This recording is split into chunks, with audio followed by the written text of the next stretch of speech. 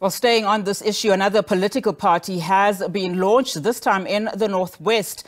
The African Independent National Congress was launched in Mahikeng ahead of next year's general elections. Now, the party says its mandate is to improve the living conditions of citizens with a focus on service delivery. The party says it wants to attract prominent people from various political parties that include African National Congress, the Economic Freedom Fighters, and Forum 4 Service Delivery. Now, this week, President Cyril Ramaphosa also signed into law the Electoral Amendment Bill. Now, let's discuss these and other political stories. We're now joined in studio by political analyst Thami Malinga. Thank you so much for your time this afternoon, Thami. Pleasure. Now, let's just talk about these political parties that we have seen. Um, I, I, I want to use the word mushrooming, uh, particularly in the past few mm. weeks. I mean, what does it say about our political landscape in this country? Is it as fragmented as some suggested, particularly in that past um, clip that we just saw? Well, the one thing that it says, it says that there is a huge distrust in the ANC. Mm. And, um, and again, it also tells us that there is quite a lack of leadership um, within the country. You know, people are looking for that leader. People are looking for that Nelson Mandela who's going to, you know, unite the country and take the country forward. Currently, we do not have that specific leader. As, as, as it said in, in the previous clip, you know, there is just individuals, there's egos. Yeah, most of these parties that we are seeing is just ego-based. You get, uh, you know, chucked out of this party, and then the next thing is like, oh, um, I can easily start my own party. So this is what it tells us. There is a lack of leadership within uh, uh, the country itself. And again, it becomes now an issue of, uh, I'm, I'm out of a job within this party and then let me start a party and then this is now a, a, a mm. way of me you know creating an employment for myself so this is what it it, it, it has boiled down to mm. uh, now, the IEC recently announced that um, close to 8 million young people between the ages of 16 to 29 have actually registered for next year's election.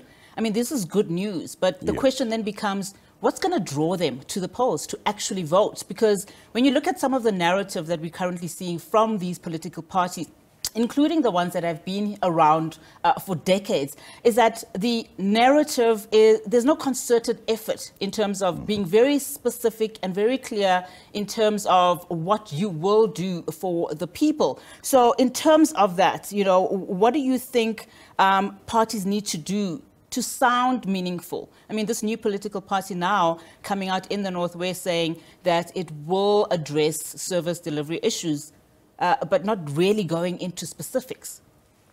What, what's, going, what's going to happen, we, we're going to see the same rhetoric that's, that's been there. Um, you're asking what's going to draw young people other than free T-shirts, other than the, the, the, the, rhetoric that we've been seeing, um, I don't see anything new that all of these parties are going to be saying. Because we've got, how, in 2019, how many parties were in the ballot paper? About 49. Um, and they're all not saying anything different. There's nothing new that they're going to be saying other than throwing rhetoric, other than promising this and that and, and throwing free t-shirts. There is no party that's got a concrete message of how are we going to solve South Africa's issues. There is no party that has been going around and actually engaging these young people to say what are the real issues that concerns you and how are we planning to solve those? There, there, has been no dialogue with young people other than what we're seeing in terms of these numbers that we, we are, are, are just escalating, uh, that we're seeing there's 8 million young people. It's just been voter registration drives. Mm. It's not bread and butters that concern young people. I haven't seen those discussions taking place. So it's going to be the same rhetoric that we're seeing in, on all these uh, with all these parties. It's mm. going to be just rhetoric and free T-shirts. Mm, which makes it very difficult for young people. I want us to delve into a couple of things that happened in the political space, you know, in, during the course of this week. Yes. The Electoral Amendment Bill finally signed into law by President Cyril Ramaphosa. But again, this is being very, very heavily criticized, mm. particularly saying that it skews heavily and favorably towards, uh, you know, political parties as opposed to independents. You know, what's your take on that? Um, it reminded me of, you know, remember when the public protector said to Jacob Zuma he had to reprimand one of his ministers, and Jacob Zuma said, I hereby deliver such reprimand. Mm. So this reminded me of that. That's what Parliament did. Parliament took a, a, a short stance in terms of, oh, uh, the Constitutional Court said we should allow independents. We are hereby allowing independents without actually delving down to say we need to really look at our Electoral Act and making sure how do we make sure that independents really get into the electoral system by making sure that their votes, all their votes count Mm. Not the fact that you've got to have 12,000 uh, signatories for you to be able to get onto the ballot.